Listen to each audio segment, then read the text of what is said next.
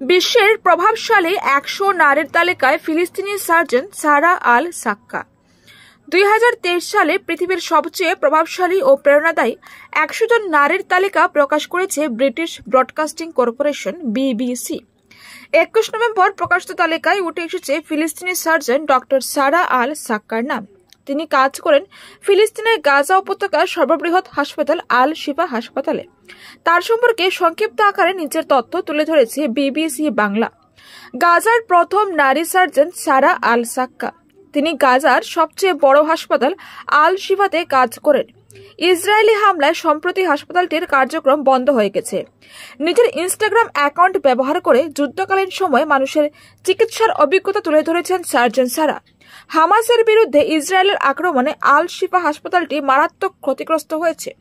হাসপাতালটিতে বিদ্যুৎ, জ্বালানি, পানি ও খাবারের অপ্রতুলতার কারণে রোগীদের সেবা দিতে বাধার সম্মুখীন হওয়ার বিষয়ে ইনস্টাগ্রামে পোস্ট করে যাচ্ছেন আল চাক্কা ইসরায়েলি সেনারা অভিযান চালানোর আগ মুহূর্তে হাসপাতাল ছাড়তে বাধ্য হন আল চাক্কা হামাসের বিরুদ্ধে সুনির্দিষ্ট অভিযান চালাতে ওই হাসপাতালে অভিযান চালানো হয় বলে জানায় ইসরায়েলের প্রতিরক্ষা বাহিনী। আল সাক্কা ইসলামিক ইউনিভার্সিটি অব গাজায় চিকিৎসাশাস্ত্রে এবং লন্ডনের কুইন মেরি বিশ্ববিদ্যালয়ে সার্জারি বিষয়ে পড়াশোনা করেন। এখন তিনি গাজার একমাত্র নারী সার্জন নয়, তার দেখানো পথে আরও নারীরা এই পেশায় এসেছেন।